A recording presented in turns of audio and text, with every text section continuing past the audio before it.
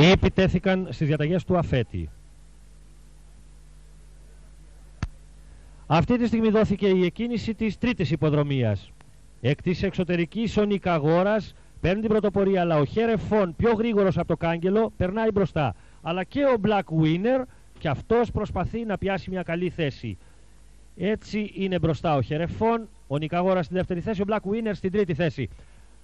Ο Νικαγόρας λίγα μέτρα πριν από τα 600 και ο Black Winner από το κάγκελο καταδιώκουν τον Χερεφόντα ο οποίος οδηγεί την κούρσα.